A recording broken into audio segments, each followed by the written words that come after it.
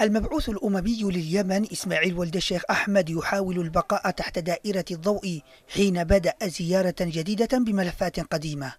من الرياض قال ولد الشيخ إن ميليشيا الحوثي لم تقم ببذل الكثير من الجهود فيما يتعلق بجسور بناء الثقة معتبرا رفضها بالانسحاب من المدن وإطلاق المختطفين غير مشجع على المضي قدما في مسيرة السلام وطريق المفاوضات.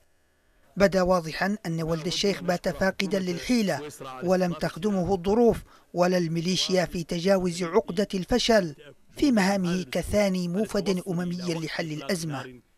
الجديد في زيارة المبعوث الأممي هذه المرة لقائه بالحكومة وهو تحول الطرف الحكومي من الدفاع إلى الهجوم ومن ردة الفعل إلى الفعل ذاته. أي عودة للمفاوضات ستكون وفقا للموقع الجديد الذي تقف عليه قوات الجيش الوطني والمقاومة التي باتت تسيطر على رقعة واسعة من الأراضي وامتلكت زمام المبادرة.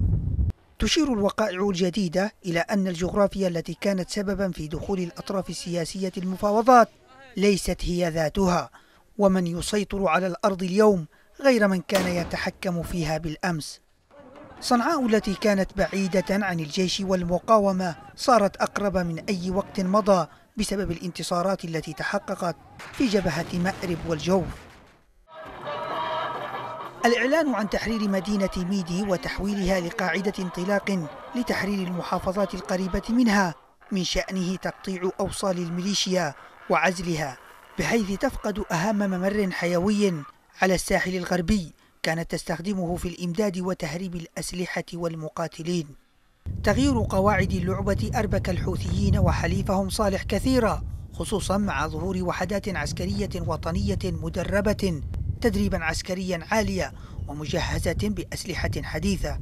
وهو ما يعني أن المعركة الحاسمة باتت وشيكة وأن ساعة الصفر اقترب موعدها. تقوم القوة بالتدخل السريع للتعامل مع المشتبه ونقله